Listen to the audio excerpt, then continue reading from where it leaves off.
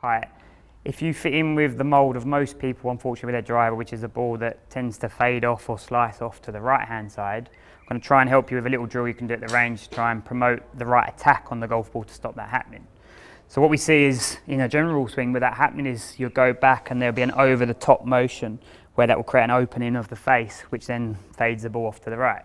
To try and get you to promote the correct approach which is on the more inside and upward plane, what I want you to do is to try and drop your right foot back for me about six inches.